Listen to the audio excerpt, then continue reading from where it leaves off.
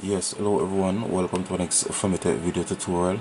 Now for uh, this episode guys i'm going to show you how to change the booting device for uh, this gateway nv55c laptop. So let's say for example you want to boot from a usb drive. So this is a usb drive which would have windows 10 on it.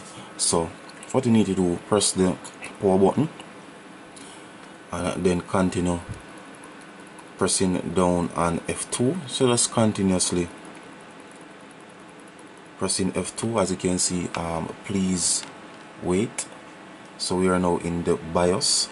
So use the arrows and go to boot.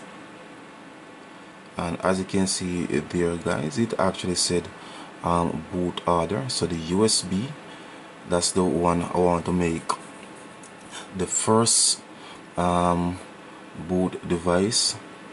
So here you go. So that's number three. You would press on F6 to carry it up two times. So it actually right so here you go guys. So this is so let's so for example again you want to get um this one that said USB hard drive general you this you want to get it up to number one. Just simply press on F6 and it will carry it up right there. But I want to use this USB flash drive so here you go. Once you have done that you just simply need to click on F10 and choose yes that's enter.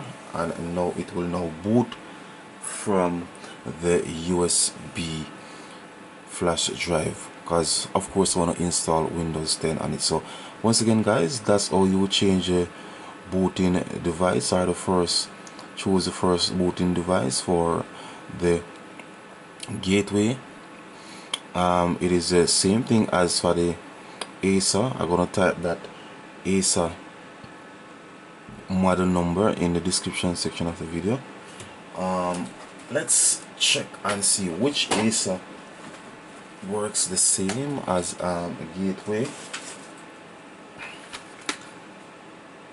Right so it is the Acer Aspire 5333 series. So both these laptops use the same um, BIOS.